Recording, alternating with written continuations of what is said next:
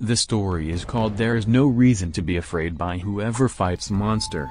When my sister Betsy and I were kids, our family lived for a while in a charming old farmhouse.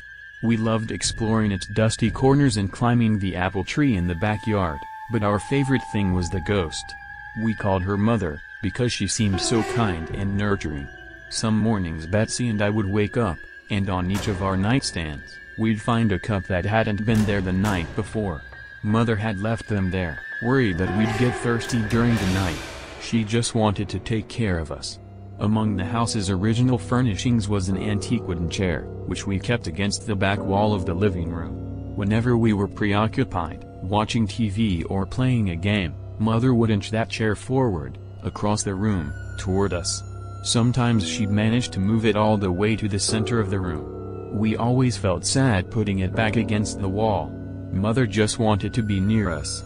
Years later, long after we'd moved out, I found an old newspaper article about the farmhouse's original occupant, a widow. She'd murdered her two children by giving them each a cup of poisoned milk before bed. Then she'd hanged herself. The article included a photo of the farmhouse's living room, with a woman's body hanging from a beam. Beneath her, knocked over, was that old wooden chair, placed exactly in the center of the room.